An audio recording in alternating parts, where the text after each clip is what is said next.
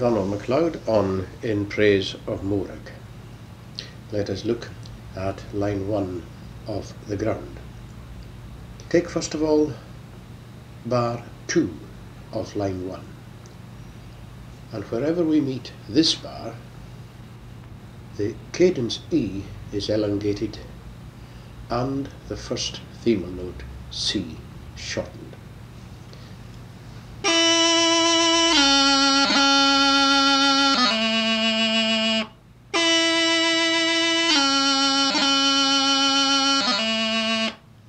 Similarly with bar 4.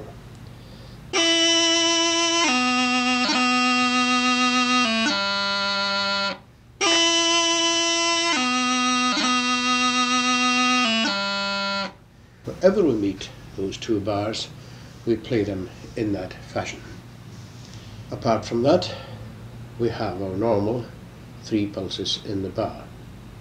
With the middle pulse shortened that tiny little bit and the emphasis put on the third pulse. For instance, bar 1 would be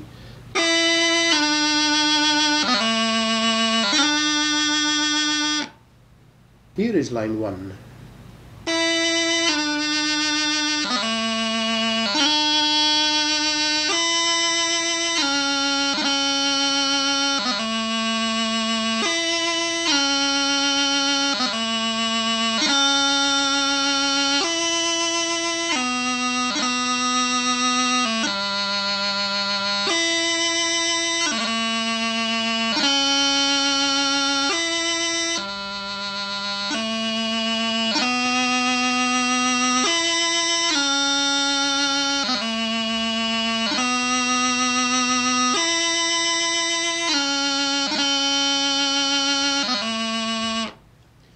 and that line is repeated. I enter line 2 with the prolonged cadential E and shortening the first themal note B.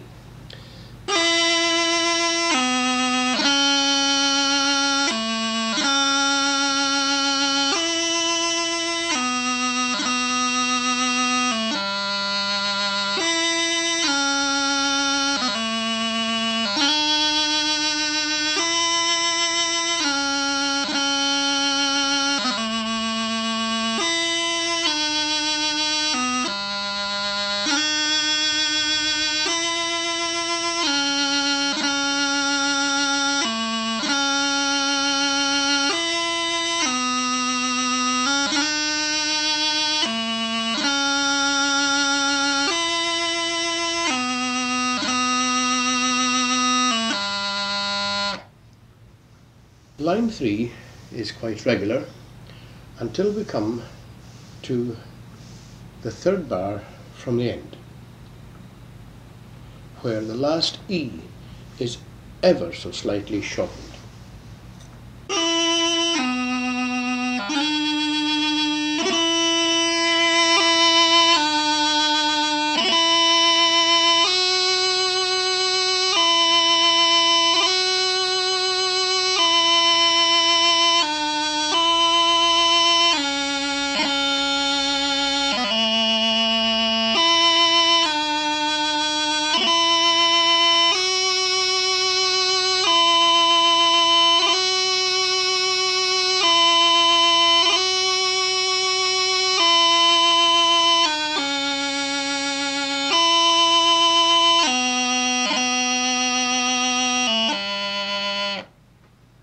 Is the speed at which I would play it on the bagpipe.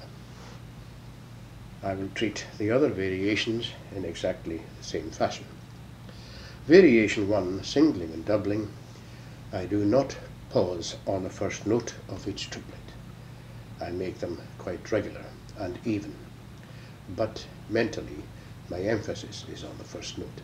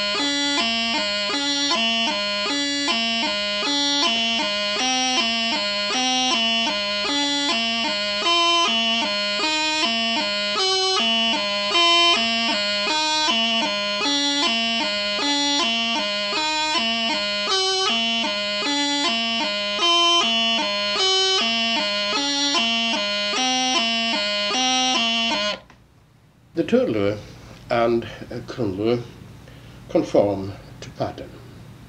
Where we have in the singlings the two joined notes, secondly the first of the two joined notes is themal and I think we tend to dwell too long on the second one. It is not short, it is more a long and note. Hadru, hadru, hadru,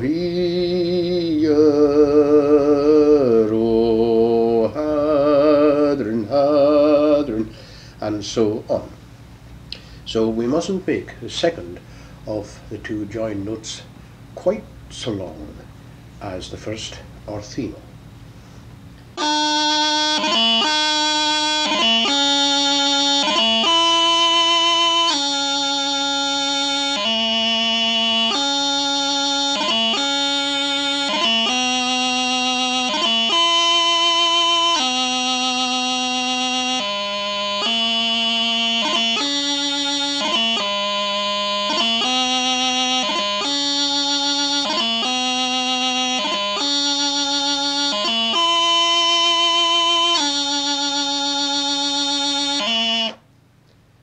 And similarly right through the singling. The doubling will of course be that shade faster and I would tackle the doubling at this sort of tempo.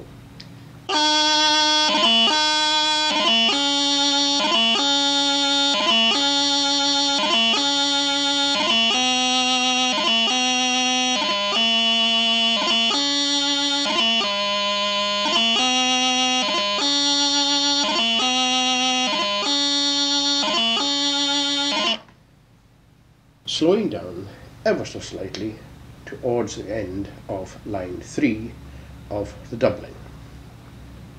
Now I think in most texts in the Crunluath singling you will see that the E before the cadence is paused. I do not under any circumstances pause the E before a cadence. My singling I would tackle something like this.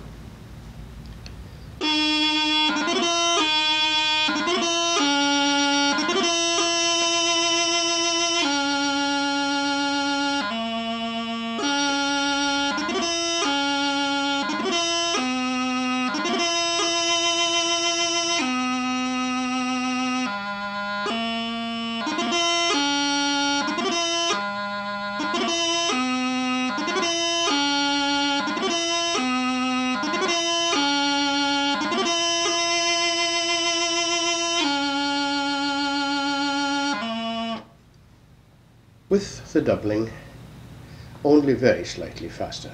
And again in this particular case although we normally slow down at the end of a doubling movement we won't do it here because we're going into the even quicker Crunluath So the last line of the doubling and line 1 of the Crunluath might sound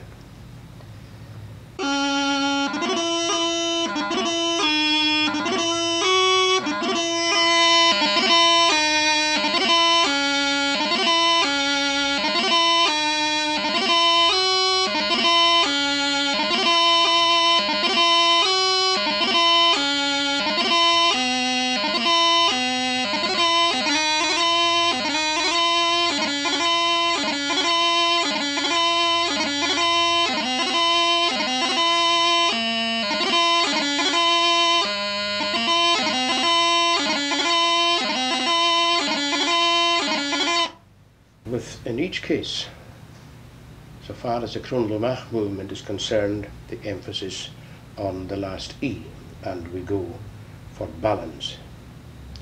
That was in praise of Morag.